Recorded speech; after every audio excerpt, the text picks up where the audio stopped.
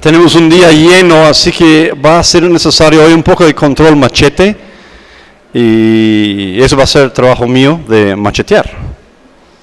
Primera ponencia hoy por parte de Víctor Joel Santos Ramírez de Centro INA, Sinaloa. Víctor nació en Tulancingo, Hidalgo, 71, es arqueólogo egresado por la Escuela Nacional de Antropología e Historia, maestro en arquitectura por la Universidad Autónoma de Sinaloa. En la década de los 90 participó en el proyecto de investigación de arqueología histórica en la Ciudad de México, el edificio de la Lóndiga y el edificio ex colegio de niñas. Fue responsable del programa de sistematización de la Biblioteca Juan Comas del Instituto de Investigaciones Antropológicas de la UNAM, colaborador del periódico Humanidades de la UNAM, editor ah, fundador de la revista Actualidades Arqueológicas y fundador del simposio Román Piñachán desde 1995. Desde el 2002 es investigador del Centro INA Sinaloa, es autor de los libros La Iglesia de la Vía de Sinaloa, Arqueología Histórica, 2014, el Colegio Jesuítico de Sinaloa, Arqueología, Historia y Arquitectura sobre el establecimiento fundacional de las misiones del noroeste de México, de 1591 a 1670. Las misiones jesuíticas de Sinaloa, pasado y presente, los monumentos históricos 2015 y coordinador de los libros Los petroglifos del norte de México 2006, tributo a Jaime Litvak 2008, El trópico de cáncer, historia y arqueología del sur de Sinaloa 2012. De las labradas a Mazatlán, historia y arqueología en 2014 y las labradas, cinco años de proyecto arqueológico en 2015. Desde el 2009 a la fecha es director del proyecto arqueológico de las labradas por parte del instituto. Muchas gracias Peter y gracias a los organizadores por esta invitación. Eh, el trabajo que presento se intitula Una ocupación chinesca y su posible relación con la tradición tumbas de tiro, el sitio Loma del Tecomate, Chametla, Sinaloa. A partir de las primeras investigaciones realizadas en el estado de Sinaloa en los años 30 del siglo XX, George Vaillant propuso una posible expansión cultural centroamericana de sur a norte por toda la costa del occidente de México hasta Culiacán. Para formular dicha hipótesis, Vaillant se basó en los materiales obtenidos por Gordon Econ en las excavaciones del sitio 117 de Guasave. No obstante, dicho planteamiento sería descartado de forma contundente por Isabel Kelly poco tiempo después. Esta investigadora, Isabel Kelly, llevaría a cabo eh, durante esta misma década las primeras exploraciones arqueológicas en las regiones de Culiacán y Chametla. Posterior a sus trabajos en Sinaloa, emprendería diversas investigaciones en el occidente del país, tratando de encontrar el origen de las culturas Chametla y Aztatlán. Sin embargo, sus estudios la conducirían finalmente hacia otros derroteros. Más tarde también cambiaría su punto de vista sobre posibles contactos entre el occidente de México y Centroamérica. Los escasos pero importantes estudios arqueológicos llevados a cabo en Sinaloa durante el siglo XX y en las postrimerías del siglo XXI han demostrado que las culturas sedentarias se desarrollaron en esta región a partir del segundo siglo después de Cristo. Las características geográficas convertirían al territorio en una región favorable para el desarrollo de asentamientos humanos en los valles fluviales, irrigados por caudalosos ríos y arroyos que bañaban las llanuras convirtiéndolas en zonas fértiles, propicias para la práctica intensiva de la agricultura y el desarrollo de otras actividades económicas. La geografía también favorecería la existencia de corredores culturales, sobre todo el establecimiento de rutas internas cuya situación estratégica generaría importantes redes de comercio, así como el auge económico de las poblaciones aldeanas de las regiones sur, centro y norte. En cada región es posible observar la fuerte presencia de tradiciones culturales, particularmente las tradiciones chametlas, chametla y astatlán, cuyo contenido simbólico religioso se haya representado en los materiales arqueológicos y en los sistemas funerarios. Dichas tradiciones mantuvieron unificadas a las regiones culturales de Sinaloa durante largos periodos de tiempo. Es difícil y casi imposible precisar el origen de ambas tradiciones, sin embargo las evidencias arqueológicas parecen demostrar una antigua afiliación entre las culturas del sur del estado y las culturas del occidente de México, es decir, un contacto primigenio con una antigua tradición. Lo cual no quiere decir que hayan tenido un origen común o que se trate solamente de una influencia cultural. Dicha afiliación es casi imperceptible a través de los materiales arqueológicos que conocemos hoy en día, pues estos representan desarrollos locales muy bien diferenciados con respecto al occidente de México. Sin embargo, desde un punto de vista conceptual, sobre todo en los asentamientos tempranos, son visibles algunas semejanzas, en particular a través de las representaciones y símbolos funerarios. El sur de Sinaloa y el norte de Nayarit comparten una región con características geográficas similares, y es posible que los asentamientos prehispánicos hayan tenido un origen cultural común, pero también es apreciable que dichos asentamientos se desarrollaron en secuencias temporales anacrónicas y a través de procesos locales. No obstante, en sus representaciones rituales y costumbres debieron de prevalecer los elementos tradicionales que la situarían compartiendo una misma cosmogonía, una forma primigenia de entender y explicar al mundo, los seres y el universo. De esta manera es como se explicaría, por ejemplo, las prácticas funerarias en tumbas de tiro en un extenso territorio durante un largo periodo de tiempo, así como la práctica de enterramientos en urnas eh, funerarias en la extensa llanura costera de Sinaloa durante toda la época prehispánica. Precisamente es en esta región de transición geográfica y cultural entre Nayarit y Sinaloa donde se pierde toda la evidencia de la práctica de tumbas de tiro y donde aparecen las costumbres de enterramientos de dobles exequias en urnas funerarias. Naturalmente, ello obedeció a las características geológicas y fisiográficas de Sinaloa, pero es posible también que se haya debido a una nueva interpretación de orden cosmogónico. En los valles fluviales, donde se concentraron los asentamientos urbanos, durante la época prehispánica, la composición del suelo es aluvial humífero, por lo cual es imposible realizar cualquier tipo de cavidad en el subsuelo sin que antes ésta llegue a colapsarse. A menos de que se construya una cámara con el empleo de tecnologías arquitectónicas o introduciendo algún tipo de contenedor artificial, como fue el caso que se empleó en los enterramientos en urnas funerarias, con la utilización de grandes ollas de barro selladas con un plato colocado de forma inversa en la boca de las ollas. Los enterramientos de dobles exequias en urnas funerarias fueron una práctica extensa y común en toda la llanura costera de Sinaloa. Pero, ello no quiere decir que fue la única conocida en toda la región, pues existen registros de otros sistemas de enterramientos practicados. Y por otro lado, tampoco hay que descartar la posibilidad de que hayan realizado tumbas de tiro, se hayan realizado tumbas de tiro en las zonas no fluviales, como las de origen volcánico o en las zonas sedimentarias localizadas en las grandes extensiones serranas, las cuales abarcan la mitad del territorio sinaloense. En los enterramientos en urnas funerarias estuvo manifiesta la intencionalidad de depositar los restos óseos de uno o varios difuntos en un contenedor que permitiera su conservación en el, en el subsuelo. Pero también, desde nuestro punto de vista, ello llevaba implícito un simbolismo, además de un posible culto a los ancestros, pues al colocar los restos óseos al interior de una olla y enterrarlos, el difunto permanecería en un estado embrionario para renacer en una nueva vida. La urna en ese sentido representaría el huevo contenedor o la semilla donde se llevaría a cabo este tránsito. En una época temprana, en el interior de las urnas se depositaban como ofrendas figurillas y diversos tipos de vasijas miniatura, entre las cuales se han encontrado, aunque en un número muy reducido, algunas de las formas parecidas al estilo capacha. No obstante, las miniaturas de este estilo halladas en Sinaloa no tienen la misma antigüedad que las encontradas eh, en Colima o en otras regiones.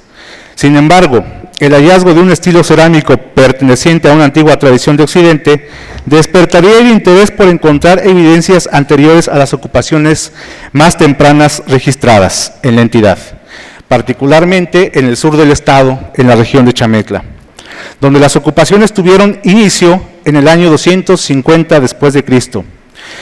Cabe señalar que de esta época también son las ocupaciones más tempranas registradas en el norte de Nayarit, en los sitios de Peñitas, Coamiles y Amapa. De hecho, los complejos cerámicos de estos sitios comparten características muy notables con los del sur de Sinaloa, como lo ha destacado Alfonso Grave cuando señala que las cuatro etapas de ocupación son las mismas desde el río Piaxla en Sinaloa hasta el río Santiago en Nayarit. La posibilidad de encontrar evidencias anteriores al año 250 después de Cristo resurgió a partir de los resultados obtenidos por Mauricio Garduño y Lorena Gámez en el salvamento arqueológico realizado con motivo de la construcción de la carretera San Blas Nayarit. San Blas, eh, Mazatlán, perdón, entre los años 1997 y 1998, cuando en los estratos más profundos de dos lomas, en sitios ubicados en la margen sur del río Acaponeta, muy cerca de San Felipe Astatán, encontraron material cerámico del complejo chinesco, fechado en la última etapa del periodo formativo, eh, alrededor del 0 al 250 después de Cristo, y fue a partir de estos hallazgos y de la comparación que realizó Lorena Gámez con el material que Isabel Kelly clasificó como foráneo en el complejo Chametla temprano, que Alfonso Grave propuso en su reciente trabajo publicado en 2012 la posibilidad de encontrar una ocupación anterior a los 150 después de Cristo en Chametla. En 1969, en el sitio del Chicoche, localizado a 9 kilómetros en la actual población de San Felipe Astatán, municipio de Tecuala, fue encontrada un contexto, eh, en contexto una ofrenda consistente en una vasija en cuyo interior se hallaron 52 figurillas miniatura, las cuales se encuentran hoy en día en exhibición en el Museo Regional de Nayarit, en la ciudad de Tepic, y cuya cédula las describe como figurillas planas de pasta fina, decoradas con pintura corporal en color negro y con aplicaciones al pastillaje, manufacturadas en caolinita. Las figurillas modeladas, entre las que destacan jugadores de pelota y mujeres en etapa de gestación, guardan una estrecha afinidad estilística con las figurillas sólidas estilo Mololoa, distintivas del periodo epiclásico. Por lo que hemos indagado, esta es la única referencia que se conoce de este notable hallazgo. Pero por otro lado, nos resultó curioso que su explicación sea ajena al resto de la colección del museo, compuesta en su mayoría por piezas de la tradición tumbas de tiro. Es decir, estas figurillas no podían corresponder a una tradición norteña, sino al centro de Nayarit y por lo tanto su temporalidad tampoco podría ser temprana, sino del periodo epiclásico. Recientemente, al revisar la colección de piezas arqueológicas del Museo Regional de Sinaloa en la ciudad de Culiacán, con motivo de la nueva museografía inaugurada hace unos días, nos encontramos con varias figurillas miniatura en caolín y caolinita, o, caolinita similares a las que se encuentran en el Museo de Nayarit, entre otras piezas que no tenían procedencia, aunque algunas de ellas pudimos identificarlas como figurillas del tipo blanco fileteado de chametla. Eh, las piezas que acabamos de mostrar no hubiesen llamado nuestra atención, permanecerían como piezas curiosas, atípicas, disociadas de cualquier explicación cultural, de no ser porque decenas de figurillas con esas características fueron encontradas en el 2014 en un contexto arqueológico en el sur de Sinaloa, muy cerca de la comunidad de Chametla, en el sitio Loma del Tecomate. El hallazgo de estas figurillas fueron el preámbulo de una nueva caracterización de elementos arqueológicos y de la definición cultural de los asentamientos tempranos en el sur de Sinaloa. Voy a leer una descripción general de estas figurillas. Eh, se trató de un conglomerado conformado por más de 100 figurillas miniatura, la mayoría corresponde a representaciones femeninas, cuyo cuerpo es esbelto, con caderas, piernas anchas y curvas, todas de pie, eh, pero ninguna idéntica, cada una con un peinado y tocado diferentes, los brazos mostrando diversas expresiones, las representaciones de narigueras, eh, de forma de alguna manera su rostro, es visible la representación de deformaciones craneanas, así como la presencia de orejeras en todas las figurillas. Sus peinados son espectaculares, espectaculares, algunas con chongos o tubos, otras mostrando el cabello largo, con diademas, algunas embarazadas, con pulseras y extraños elementos en sus piernas. Al igual existen representaciones de músicos, flautistas y tamborileros, algunos distinguidos con un gorro. Bueno, el sitio Loma del Tecomate eh, se localiza unos cuantos metros del Panteón del Poblado, como decíamos, en una loma con una suave pendiente que colinda en su parte baja con una planicie de inundación del río Baluarte. En ese lugar, hasta el momento, hemos identificado tres ocupaciones, la más antigua correspondiente al complejo denominado chinesco, ya descrito del, del 0 al 250 después de Cristo, y las fases siguientes correspondientes a los complejos Chametla temprano, del 200 al 500, y eh, Chametla medio del 500 al 700 después de Cristo.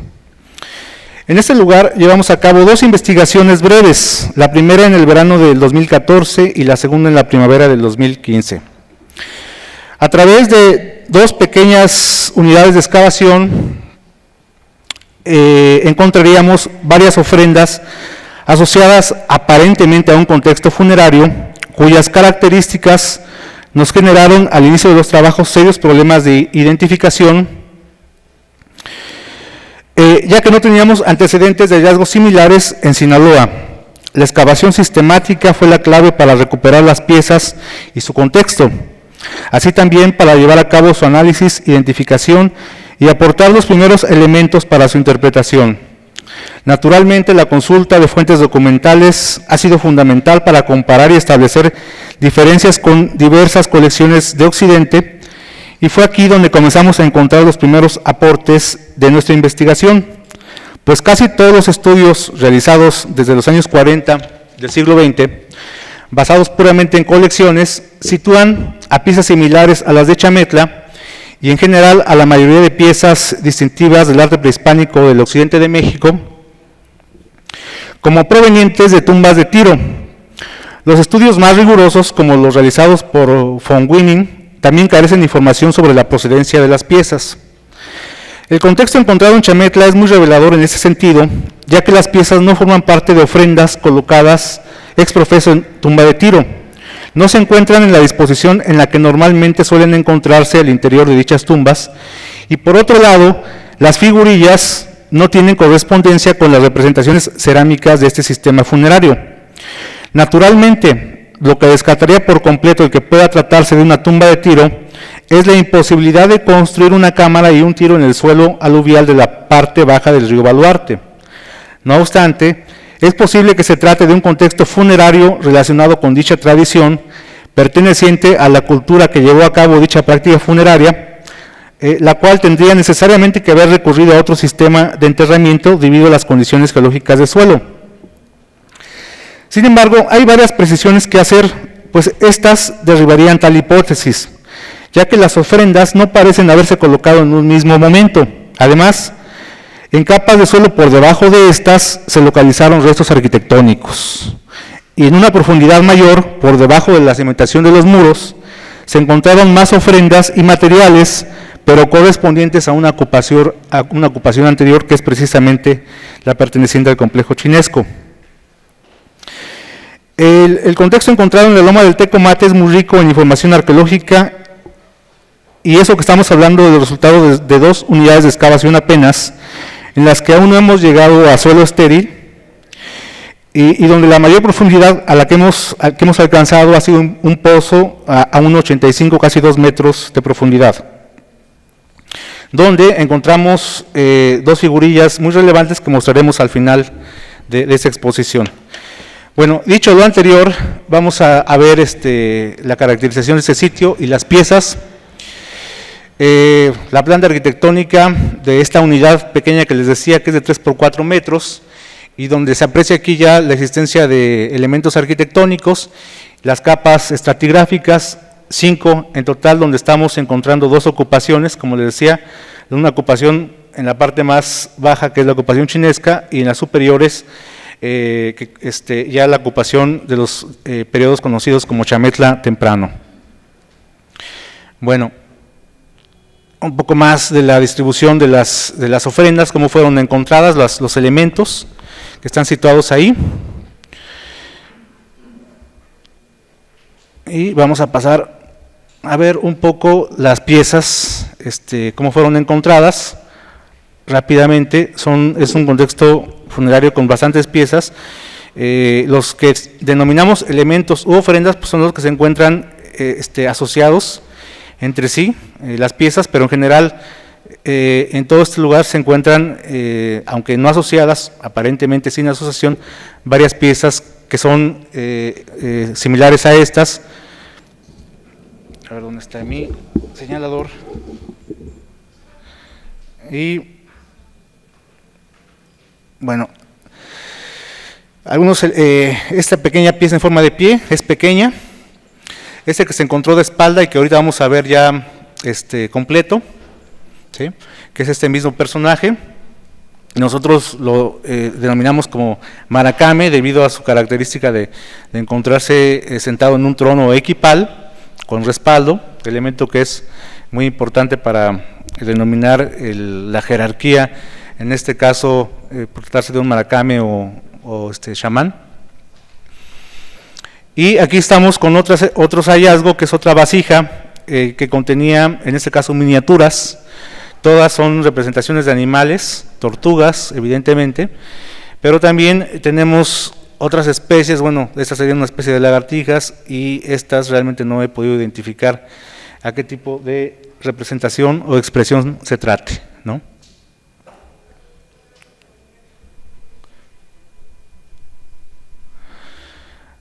Eh, bueno, aquí es las, eh, las evidencias que estamos encontrando, todas estas tienen que ver con esta ocupación ya eh, chametla temprano. Y bueno, el hallazgo de, cuentas de eh, piedra verde, así como de eh, cuentas tanto para collares y también el hallazgo de una figurilla de piedra, de piedra verde, eh, son de los elementos también que por vez primera encontramos en un contexto en, Sinaloa en general. ¿sí? Eh, este es uno de, los, de las piezas más importantes, de un tamaño interesante, 8 eh, centímetros más o menos, al parecer este, se trata de turquesa, estamos llevando a cabo el, estudio. Y bueno, entramos a la parte de las ofrendas, eh, donde encontramos cosas muy particulares, únicas me parece, de acuerdo a los ejemplos que hemos estudiado. Bueno, esta ofrenda sí se encontró, y la vamos a ver ahorita eh, todo lo que significó su proceso de, restauración y eh, posterior a esto, cómo, cómo es como, como, fue encontrado, como seguramente se colocó. ¿sí? Eh, las piezas asociadas que se encontraron en, en esa misma ofrenda, que nosotros denominamos elemento 3, eh, figurillas este, femeninas, la representación de una maqueta. Y bueno, lo que nosotros vemos es la, este, esta eh, representación en, en un, no era ese, era este, en un plato, ¿sí? donde un grupo de aparentemente de danzantes, alrededor de 30 figurillas en el contorno del plato, otras al centro, este, abrazadas con el, brazo izquierdo abrazando a su compañero inmediato y este, eh, con el otro eh, brazo y mano en, la parte del corazón. Hay una figurilla como esta que está sosteniendo un objeto, aparentemente un ramo de flores, pero bien podría tratarse de un instrumento musical. Y debemos tener aquí mejores representaciones. Bueno, aquí Habíamos pensado en la representación de, un mitote, en función de que se trata de una danza, y pudiese, tener características, si lo comparamos con eh, las danzas que hoy en día se practican entre huicholes, eh, de forma circular. Eh, ese personaje, por ejemplo, podría ser el, cantador, quien, quien, lleva pues prácticamente este, el ritmo de la, de la danza. Pero también encontramos estas otras este, figurillas asociadas, eh, donde eh, pues encontramos una maqueta, encontramos hacia la parte occidental las representaciones de tres personajes eh, que están sentados en equipal, son de diferentes tamaños. Tenemos dos representaciones femeninas, ¿sí? las dos con amamantando un niño y les decía una representación de lo que parece ser un templo. Eh, bueno, vemos con algunas de las características más particulares de, eh, esas dos representaciones femeninas colocadas al oriente. Las, desafortunadamente, pues incompletos los restos de, de esos personajes este, en trono, con todo su, su vestimenta, y lo que pues se trata de una maqueta de un doble aparentemente de un templo, ¿no? También se encontraron asociadas estas este, eh, cabecitas, ¿sí? Al igual, bueno, aquí está más o menos otra representación de, cómo se encontraban, como les decía. Así es como se encontró en la excavación.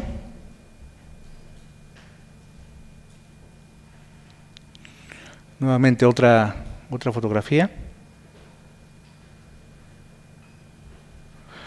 Y también asociado a ese elemento se encontró esta otra, otra representación eh, eh, que es de mayor altura, es una figura de barro eh, más alta que las anteriores, un personaje femenino con el mentón recargado sobre un bastón, este, su, las características de su brazo derecho, de esta y de otras imágenes que también encontramos, muestran esa singularidad no correspondientes con características normales de una persona. El grosor, los dedos. Este, se encuentra en esta representación y las encontramos en otras más que, veremos más adelante. Eh, bueno, esta es una interpretación que hice yo en un programa de computación tomando eh, en consideración sus características pictográficas de esta misma, eh, este, esta misma pieza. ¿no?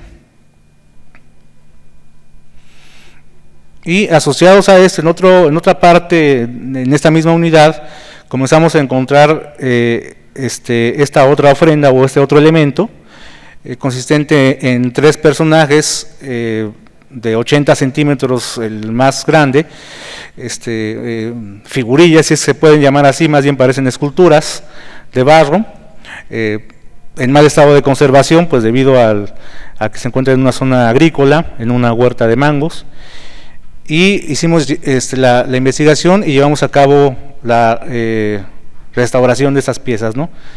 En, la medida en, que lo pudimos hacer. Lo que destaca naturalmente son las características de los rostros, donde se aprecian pues, los elementos de la nariguera, eh, las expansiones en los lóbulos, los peinados, la este, pintura corporal.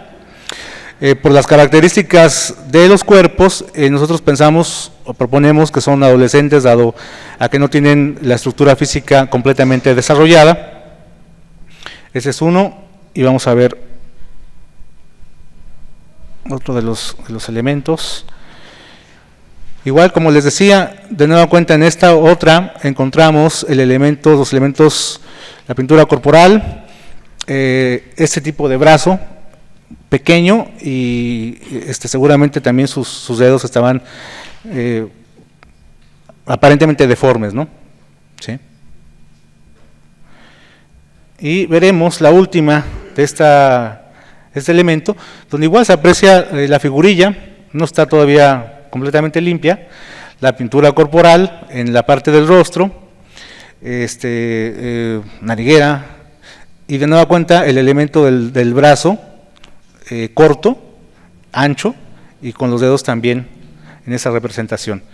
Otros elementos hallados en esta misma unidad, ¿sí? aparentemente no asociados con nada, pero pues son eh, elementos que, eh, o figurillas que ya tienen un antecedente en, colecciones en el occidente. Bueno, ese es el elemento arquitectónico, este, restos óseos, eh, apenas hemos logrado identificar aquí en muy mal estado de conservación algunos, algunos restos, hay en todas partes, es decir, no propiamente estamos hablando de, de un sitio con un enterramiento, varios enterramientos bien definidos, las características de suelo en gran parte hacen difícil la conservación de, los restos óseos. Estos ya son los hallados que hicimos este año, ese tipo de, vasija. Eh, seguimos recuperando eh, pequeñas figurillas, en este caso eh, lo que es una cabecita de, de ave con incrustaciones de una cuenta color verde, piedra verde otros elementos también en esta parte de la investigación. Voy rápido porque tenemos poco tiempo. eh, la ampliación de esta unidad debido a la existencia de elementos arquitectónicos y el hallazgo de más ofrendas. Es lo que continuamos eh, encontrando. Y bueno, en, esta excavación ya estamos, eh, en este momento, pues llevando a cabo ya investigaciones más profundas, donde pues estamos encontrando elementos que nosotros pensamos corresponden ya a la, a la tradición del complejo chinesco. Y bueno, debo decir que desafortunadamente pues ya no logramos eh, llevar a cabo más investigaciones por falta de presupuesto, pero eh, esto fue lo último que encontramos, ya en la profundidad de 1,85, esta figurilla, eh, son dos, no se ve, hay otra en la parte de su respaldo, ahorita la vamos a ver, es esta la que les comentaba, esta es la figurilla que se encontró recientemente, una figurilla masculina, aparentemente con una máscara, eh, sentado en cuclillas, eh, destaca su este, los brazalete, y bueno, aquí ya está en su proceso de limpieza, de perfil. Nosotros pensamos que es una máscara por las características que tiene aquí. y es esta, ¿no? ya de frente. Y donde pues nosotros pensamos que ya estamos eh, completamente en, el complejo chinesco. ¿sí? Brevemente, otra unidad que logramos excavar, eh, es un lugar eh, muy rico en arqueología, toda esta zona en, en Chametla, y prácticamente desde la superficie estamos encontrando esto. Y lo que quiero destacar aquí, bueno, es el hallazgo de otro entierro y también por vez primera encontrar restos de, cánidos igual en, las excavaciones en, Chametla, ¿no?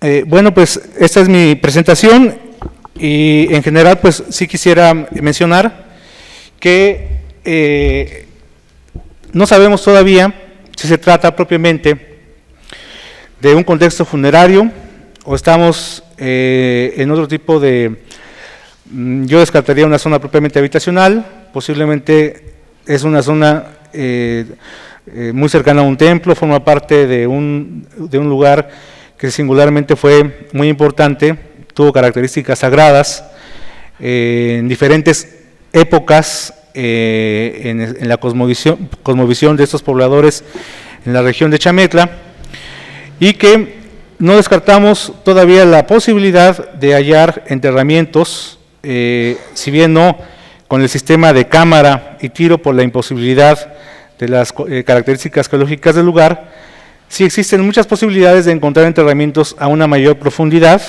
enterrados de forma este, eh, entierros extendidos, con colocaciones de ofrendas. Y es muy posible que estas ofrendas que estamos encontrando eh, en las partes profundas pues puedan corresponder a esos enterramientos que hasta el día de hoy todavía no vemos y que esperamos eh, en otro momento, desarrollando esta investigación, pues el poder definir con mayor precisión tanto el contexto que se halla, se en el subsuelo, el contexto aparentemente funerario, como eh, la definición de los elementos arquitectónicos que nos están conduciendo ya a una unidad habitacional, o una serie de complejo arquitectónico que eh, pues no teníamos registrado en Sinaloa la presencia de, arquitectura con esas características. ¿no? Pues les agradezco mucho su atención, espero haya sido de su interés y muchísimas gracias nuevamente.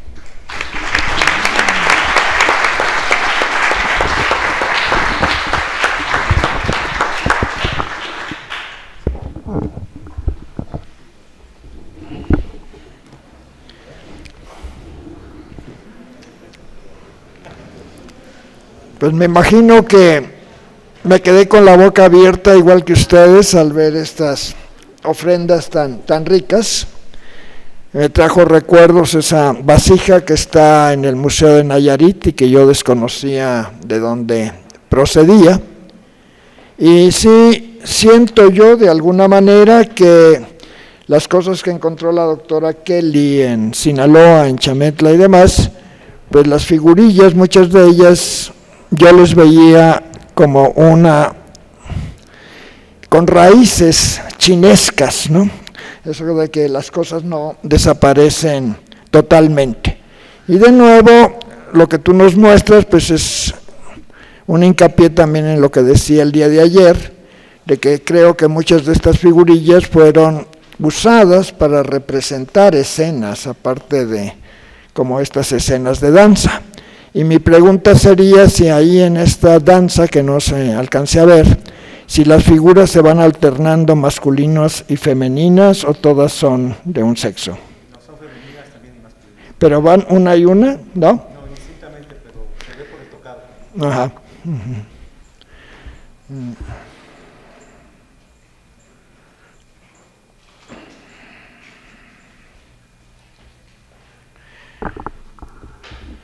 Respecto a los perros que tú mostraste al final, los entierros de perros, pues no hay mucha difusión, pero me gustaría recordar también los hallazgos de el grupo de ahorita se me fue el nombre, pero los trabajos que se hicieron en la región de marismas nacionales Stuart Scott, en donde encontraron varios entierros acompañados también ya bien sea de esqueletos de cánidos o curiosamente con esqueletos de tejones. Entonces, en este sentido, hay interpretaciones bastante interesantes hechas por Elizabeth Wink, que todavía no tienen una difusión amplia. Y pues eh,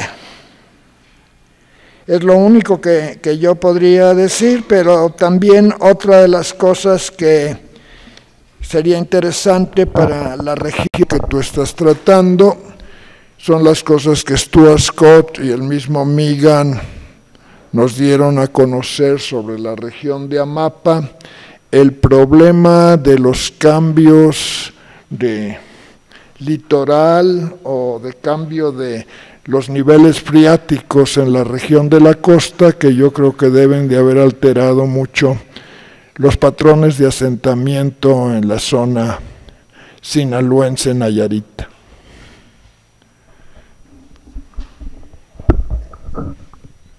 Bueno, en primer lugar, me parece que estás en lo correcto al plantear que los elementos cerámicos principales, o sea, la última figura y las maquetas corresponden al estilo de las tumbas de tiro. Y eso regresa al problema de ayer. Pero bueno, ya eso ya lo planteamos. Yo creo que es correcto tu postulado de decir, bueno, yo tengo esto y bueno, estilísticamente es tumbas de tiro, no hay tumbas de tiro. No va a ser el único caso que en este simposio se presente. Yo considero que tu hipótesis es correcta y que lo único que hace es abonar a que esto se afine en términos de la clasificación y de la discusión.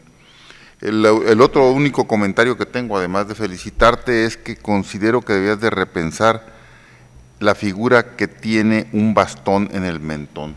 Yo considero que es una flauta doble y, y deberías de pensarlo. E, eso, eso trae consecuencias porque también se había, es una figura femenina según tu exposición y se había dicho que no se encontraban eh, mujeres tocando de que sea una flauta de una doble flauta y sería todo de mi parte.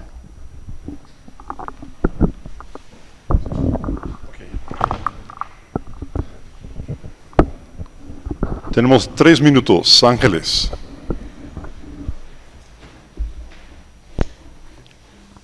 Eh, felicitarte, Joel, porque sé que lo hiciste en condiciones muy poco propicias. Y, pero es justo esto, ¿qué, interpretación han, abordado para este asunto de, la diferencia del grosor del brazo? Aparte son más cortos y aparte este, esta cuestión como de poner en, círculo, ¿qué, ¿qué han pensado? Bueno, en, eh, sobre todo las esculturas en, el centro del país, eh, de esa especie de portaestandarte, ¿no? que se da lugar a, que en los brazos haya este, este espacio para que las esculturas porten algún tipo de bandera o, algún otro elemento. Pero me parece que esto tiene que, que, ver con, este, me parece que el caso aquí en Occidente, bueno, en Chametla es diferente, y tiene que ver con un aspecto mitológico que desconocemos por completo. Eh, hay que meternos más, es necesario.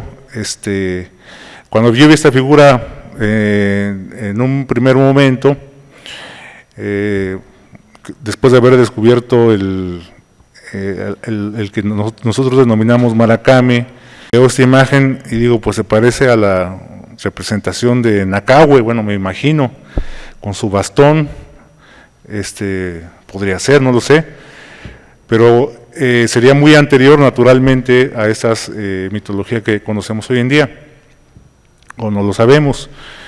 Y la representación del brazo este, nos causa mucho ruido, necesitamos investigarlo, pero creo que nosotros sí pensamos que tiene que ver con una cuestión eh, de carácter mitológica, religiosa, con respecto a la función que, adquirió en un papel femenino, porque son figuras femeninas las que lo poseen. Eh, y pues no sé, si alguien tiene algún caso o nos pudiese ayudar en esto, pues sería muy valioso, pero hoy en día lo desconozco. Oye, pero no, no creo que puedas eh, brincar tan rápido de Chametla a los huicholes, al menos en el mitote, porque tienes al lado a los coras y los eh, mitotes multitudinarios sí tenemos eh, consignados en la época colonial para el caso Cora, concretamente en la mesa del Tonati, en el equinoccio de primavera. No tenemos ninguna información de mitotes multitudinarios con respecto a los huicholes. Eso no quiere decir que no hagan también los huicholes mitotes grandes y multitudinarios. Yo pienso que la relación puede que la hagas con los huicholes, pero también la tendrías que hacer necesariamente con los coras. Sí, indudablemente. agradecemos mucho a Joel, su ponencia. Siempre tiene la, tendencia de llegar a los simposios con cosas, ¿no? Ok, gracias.